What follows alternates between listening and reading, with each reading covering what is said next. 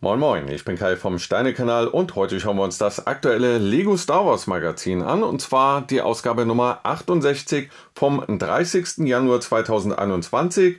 Wir haben zwei Extras dabei. Zum einen haben wir hier ein Foil Pack mit einem Mandalorianer drin und zum anderen haben wir dann hier noch ein Ninjago Booster Pack. Die Insel dürfte jetzt glaube ich auch ganz neu sein.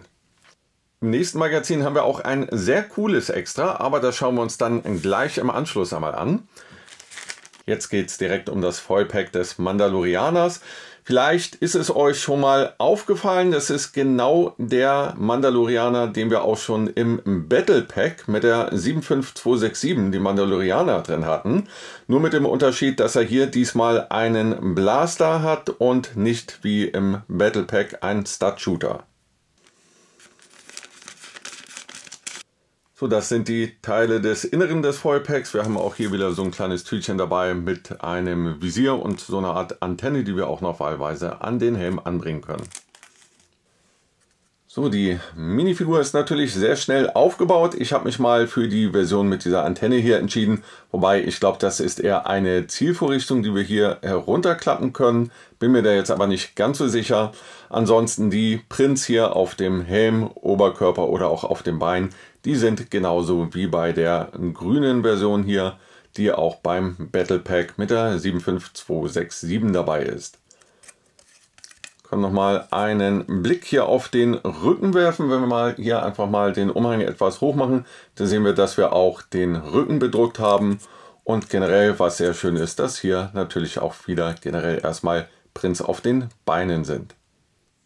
Wenn wir den Helm abnehmen, sehen wir, dass wie bei anderen Mandalorianer-Figuren dann einfach auch nur ein komplett schwarzer Kopf vorhanden ist. Das ist dann einfach, damit hier dann irgendwie nichts Helles bei dem Helm hier unten irgendwie drunter vorragt. Das denke ich ist auch vollkommen in Ordnung. Für mich reicht das auf jeden Fall. Und dann natürlich hier mit einem kleinen Blaster ausgerüstet.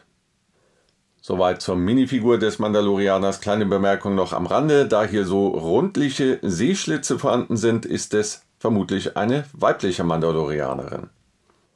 Und bevor wir jetzt zur Vorschau des Extras der nächsten Ausgabe kommen, der Ausgabe Nummer 69, werfen wir nochmal einen kurzen Blick auf das Poster hier in der Mitte. Dann haben wir hier auf der Vorderseite einmal Bedrohung und auf der Rückseite haben wir dann hier einmal Hoffnung.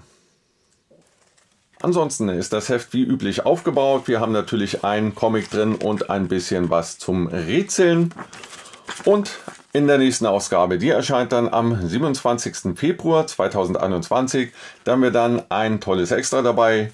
Und zwar der mächtige Imperator Palpatine mit Lichtschwert. Wieder eine Minifigur, das finde ich sehr schön. Ich denke auch, das hier wird wieder sehr begehrt sein. Die Ausgabe sollte man sich dann auf jeden Fall mindestens einmal sichern. Was sagt ihr zu den Extras, beziehungsweise über welche Minifigur freut ihr euch mehr? Über den Mandalorianer oder doch eher den Imperator? Lasst es mich in den Kommentaren wissen. Ich danke euch recht herzlich fürs Zusehen. Ich hoffe, es hat euch gefallen. Wenn dem so ist, gebt dem Video einen Daumen hoch. Ich würde mich sehr freuen. Und hinterlasst auch ein Abo und aktiviert die Glocke, damit ihr immer über die neuesten Videos informiert werdet. Und dann verbleibe ich bis zum nächsten Mal. Auf Wiedersehen.